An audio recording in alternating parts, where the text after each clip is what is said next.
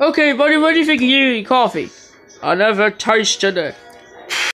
Now, what do you think of Community Coffee?